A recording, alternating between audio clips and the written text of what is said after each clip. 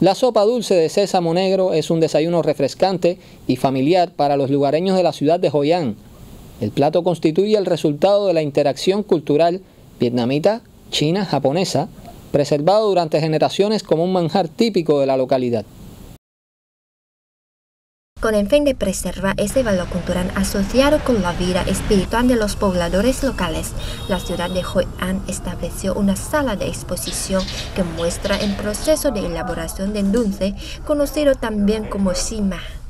En sitio ubicado en una pequeña esquina de la calle Nguyen Xuân Do, ha brindado por más de 70 años en plato característico de Hoi An, capturando la atención de los residentes locales y turistas. Este plato comprende principalmente el sésamo negro, además de boniato, tapioca, azúcar, hojas de albaricoque, centella asiática y algunas hierbas chinas. Actualmente los habitantes locales se esfuerzan por preservar la identidad cultural del casco antiguo, incluida la delicadeza gastronómica. Ngotio es el creador de este postre.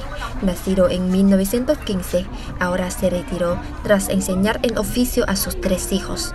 Cada plato de la sopa dulce de sésamo negro exalta un sabor único que atrae a los turistas a Hoi An. No podemos encontrar un plato como este en Canadá. Probar este dulce me ayudó a entender mejor a la cultura del casco antiguo de Hoi An.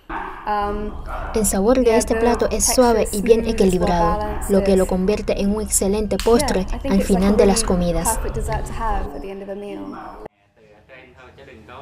El oficio de elaborar el dulce de sésamo negro ha contribuido a preservar y promover el valor cultural y culinario de esta ciudad antigua, ya que la sala de exposición de este plato se convirtió en una parte de los recorridos culinarios para los visitantes de Hoi An, sitio reconocido por la UNESCO como Patrimonio de la Humanidad en 1999.